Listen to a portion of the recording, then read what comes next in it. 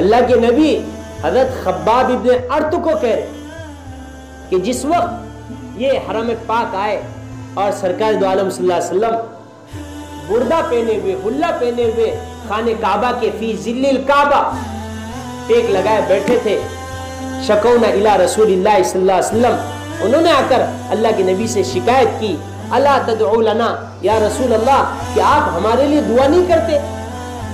یہ کفار مکہ یہ مشکین مکہ، ہمیں کتنی تکلیفیں دے رہے آپ اللہ سے دعا کیجیے، اللہ سے مدد طلب کیجیے۔ تو اللہ کے نبی صلی اللہ علیہ وسلم نے کہا، او خباب، کیا تو پچھلے ایمان والوں کو نہیں دیکھتا؟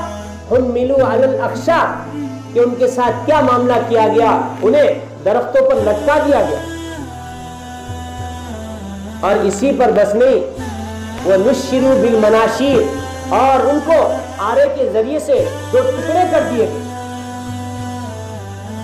اور اسی پر بس نہیں وہ یمشتو بی امشات الحدید ما دون لحنه و عظامی بخاری شریف، خباب ابن اتراوی تین ہزار چھ سو بارہویں حدیث۔ بعض انبیاء کو، بعض ایمان والوں کو زمین میں گڑا کیا جاتا اور گڑا کرنے کے بعد انہیں اس طرح گڑے میں داخل کیا جاتا اور پھر آرے لا کر ان کے ٹکڑے کیے جاتے اور بازوں کو اس طرح برج کے سامنے کھڑا کیا جاتا۔ بڑی بڑی آتوں کی قیچی لائی جاتی اور ان کے پیٹ میں اس طرح اس آتوں کی قیچی کو داخل کیا جاتا اور پورے پیٹ میں گھما کر اتڑیوں کو باہر نکالا جاتا۔ اور اسی پر بس نے ما دون لحمہی و عظامی ان کے جسم سے گوشت کو ادھیڑا جاتا گوشت کو نکالا جاتا الاسابہ فی تمیدی صحابہ میں ابن حجر اسقلانی نے ایک عجیب و غریب رواج ذکر کی اس میں پورے صحابہ کی ہسٹری ہے اللہ کے نبی صلی اللہ علیہ وسلم جب جبل النور میں خلوت نشینی اختیار کیا کرتے تھے تو اس وقت حضرت رسول خدا صلی اللہ علیہ وسلم غار ہرا میں محو عبادت ہوا کرتے اور کئی کئی دن خدیجہ آپ کو توشہ دیتی اور آپ وہاں اللہ کی عبادت میں مست رہتے جب توشہ ختم ہوتا تو آپ پھر نیچے اتر بسا اوقات اللہ کے نبی کے ساتھ حضرت ابو بکر صدیق رضی اللہ تعالیٰ بھی رہا کرتے یہ خلوت نشینی اختیار کر رہے تھے۔ تو توشہ ختم ہوا۔ تو حضرت رسول خدا صلی اللہ علیہ وسلم، حضرت سیدنا صدیق اکبر کے ساتھ جیسے جبل نور سے نیچے اترے، تو کیا دیکھا؟ ایک چرواہا اس جگہ بکریاں چرا۔ تو اللہ کے نبی صلی اللہ علیہ وسلم نے اس چرواہے کو بلایا۔ اور چرواہے سے کہا، ہمیں دودھ چاہیے۔ عرب کی بہت زیادہ مہمان نوازی تھی۔ جو بھی کچھ طلب کرتا فوراً دے دیا جاتا۔ تو اس چرواہے نے کہا، اے محمد صلی اللہ علیہ وسلم، ان بکریوں میں ایک بکری بھی ایسی نہیں ہے جو دودھ دے سکے۔ اللہ کے نبی نے کہا، وہ جو پیچھے والی بکری ہے، اس کو دیکھ لیا جائے۔ اس نے کہا، اے محمد صلی اللہ علیہ وسلم، میں آپ سے کہہ رہا ہوں کہ ان تمام بکریوں میں ایک بھی بکری قابل نہیں کہ جو دودھ دے سکے۔ تو پھر وہ آخر بکری میں کیوں کر دودھ مل سکے اللہ کے نبی نے کہا، دیکھ تو لیا جائے، تو کوئی حرج نہیں۔ اس نے لا کر وہ پیچھے کی بکری اللہ کے نبی صلی اللہ علیہ وسلم کے سامنے پیش کر اللہ کے نبی صلی اللہ علیہ وسلم نے اپنے معصوم ہاتھوں کو آگے کیا۔ حضرت عبداللہ ابن ابی قحافہ سے کہا، جاؤ اور جا کر ایک پیالہ لے کر۔ انہوں نے پیالہ لایا۔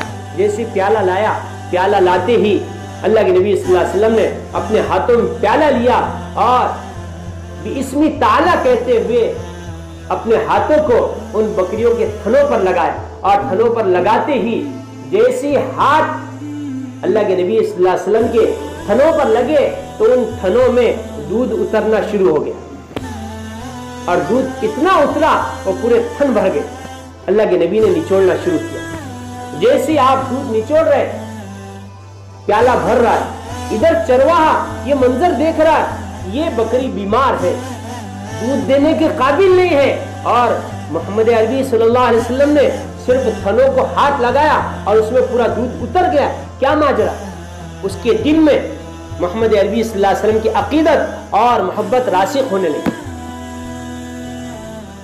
اللہ کے نبی نے جب دیکھا پیالہ بھر چکا الاسابہ فی تمیدی صحابہ ابن حجر نے باقی تفسیر میں لکھا ہے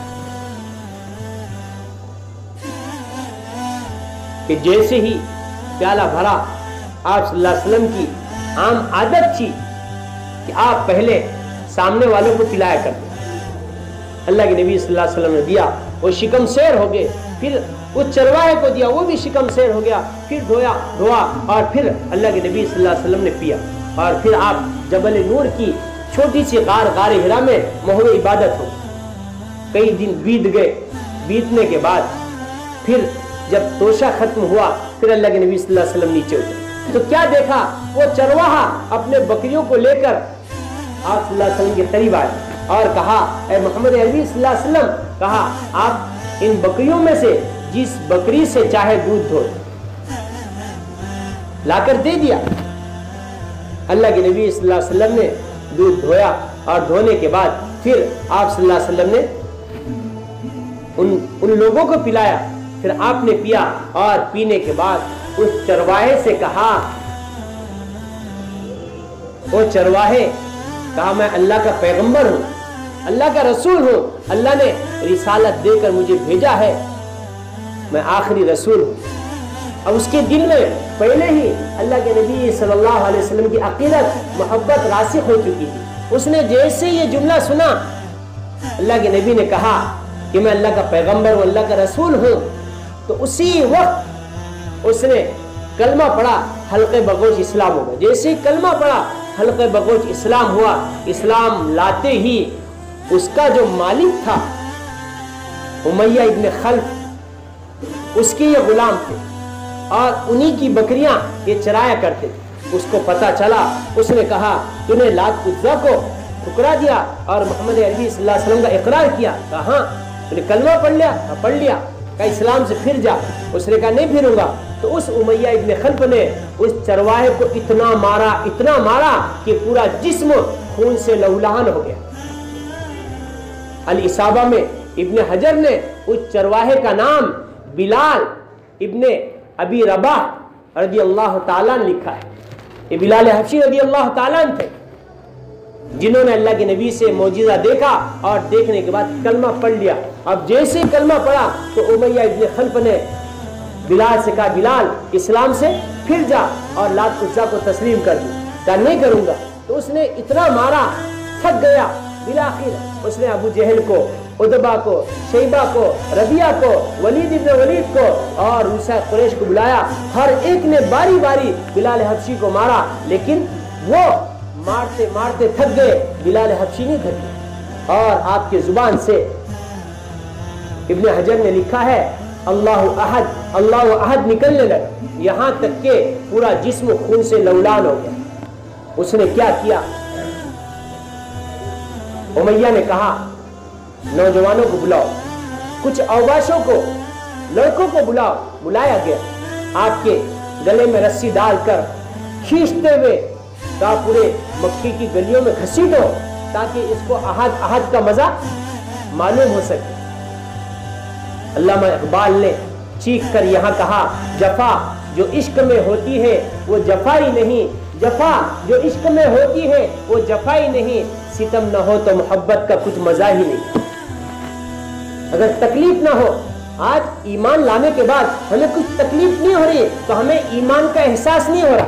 پچھلے ایمان والے کے ساتھ کیا معاملہ کیا گیا؟ آپ بیسواں پارا سورہ انکبوت آیت نمبر دو، تین اٹھائیے۔ اللہ کہتا ہے، احسب الناس ان یترکو ان یقولو آمنا وهم لا یفتنون۔ کیا لوگوں نے گمان کر رکھا؟ صرف آمنا کہنے کے بعد، لا الہ الا اللہ، محمد رسول اللہ، پڑھنے کے بعد ان کو ایسے ہی چھوڑ دیا جائے گا؟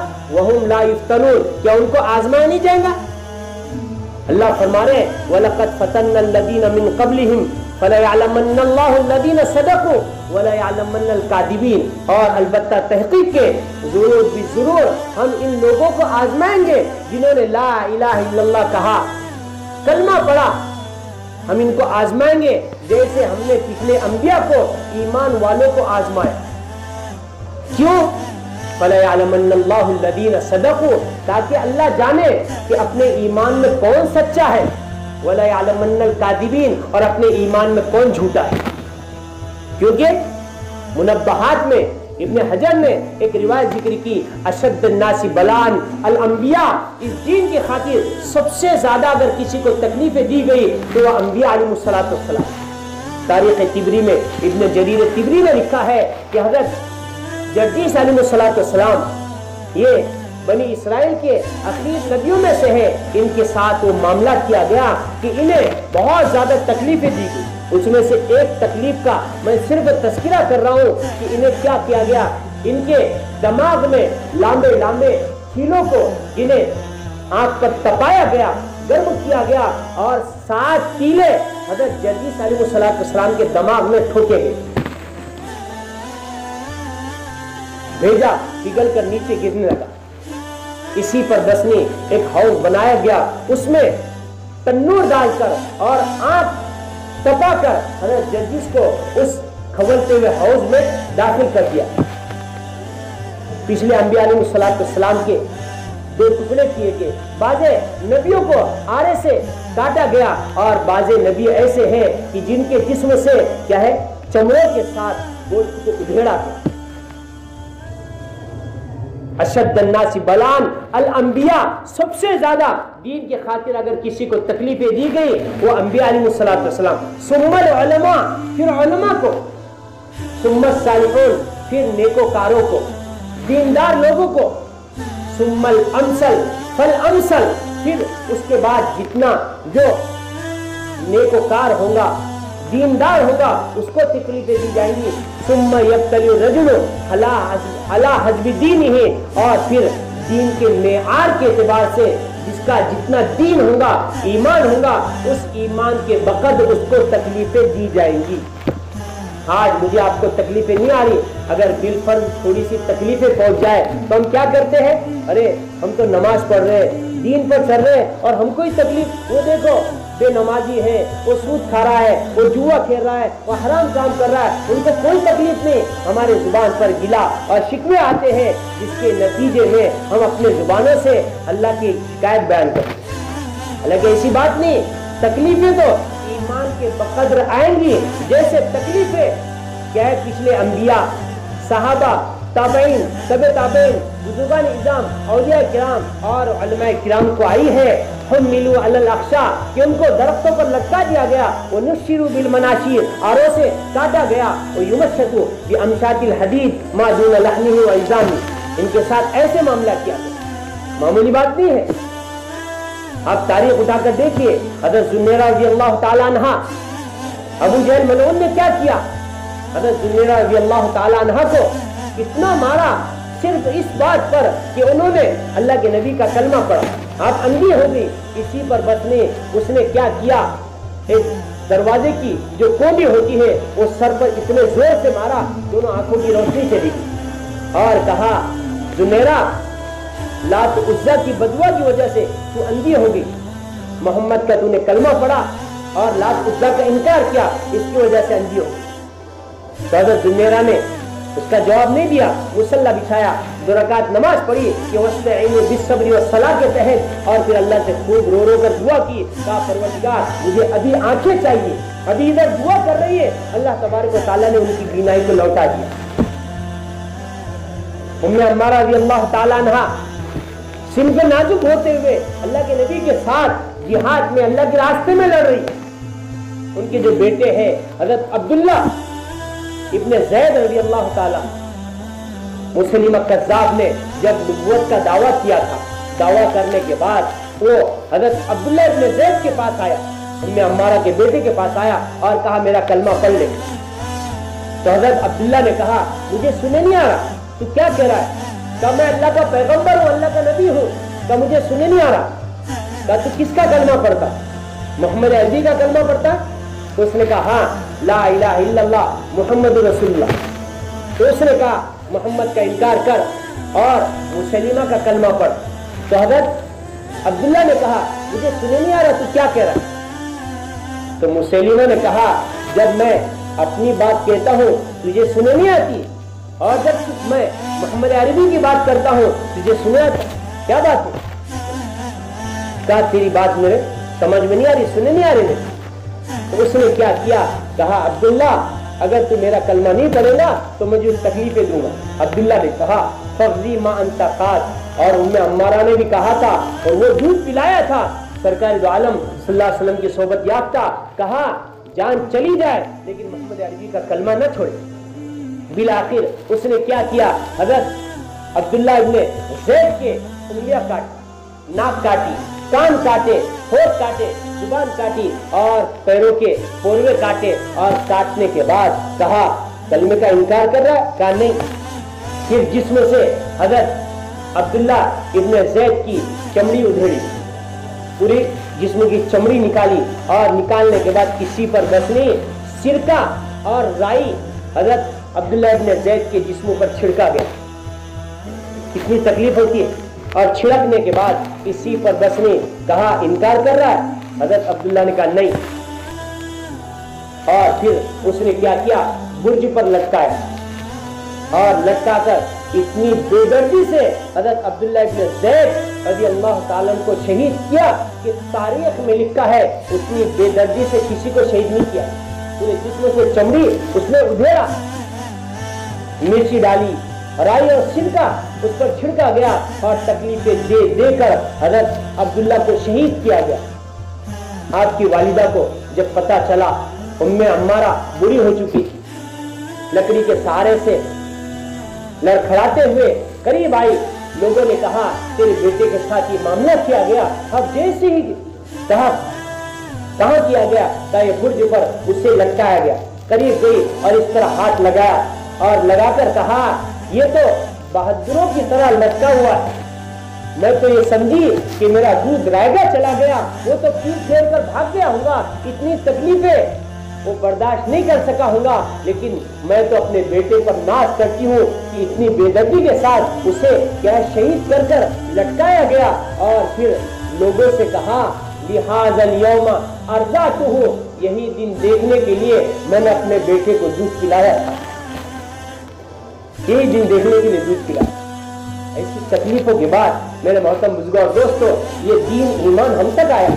ایسے ہی نہیں آیا۔ بہت تکلیفوں کے بعد آیا ہے۔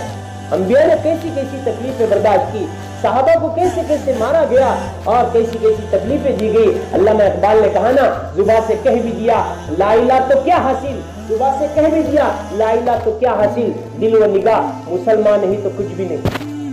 ہمارا کیا حال؟ مسجد ویران ہے۔ قرآن پڑھنے والا کوئی نہیں ہے۔ قرآن پر دیکھیے دھول کتنی لگی ہوئی۔ اللہ کے نبی کا جو دین، دعوت، تبلیغ امت تک پہنچانا ہے، آج ہم اس کو اپنے پیٹوں کے پیچھے بالا ٹار ڈال رہے دین یتیم ہو چکا ہے، لیکن آج ہمیں احساس نہیں ہے کیسی کیسی تکلیفیں ہمارے خاطر انہوں نے برداشت کی اور آج ہم کیا کر رہے ہیں اس لیے میرے محترم بزرگ اور دوستو یہ وقت ہے اپنے زندگیوں میں تقوی لانے کا، اللہ سے ڈرنے اور خوف کھانے کا۔ کیونکہ اگر ہم اللہ، اس کے رسول صلی اللہ علیہ وسلم کی اطاعت میں زندگی گزاریں گے، تو یقیناً آج اللہ وہ مددیں کر سکتا ہے جو اللہ تبارک و تعالیٰ نے ہمارے پچھلے اسلافوں کے ساتھ کیا ہے۔ آج بھی ہو جو براہیم سا ایمہ پیدا آنکھ کر سکتی ہے، انداز گلستہ پیدا۔ یہ وقت ہے بننے کا سورنے کا۔ یہ عزم لے کر اٹھے، یہ ارادے لے کر اٹھے کہ انشاءاللہ یہاں سے ہم اپنے زندگی میں تقوی، طہارت لائیں گے، اپنے آنے کے مقصد کو پہچانیں گے۔ اللہ اس کے رسول کی اطاعت کریں کریں گے بھائی انشاءاللہ۔ اللہ سے دعا ہے، اللہ عمل کی توفیق عطا فرمائے۔ کہنے والا بھی عمل کا محتاج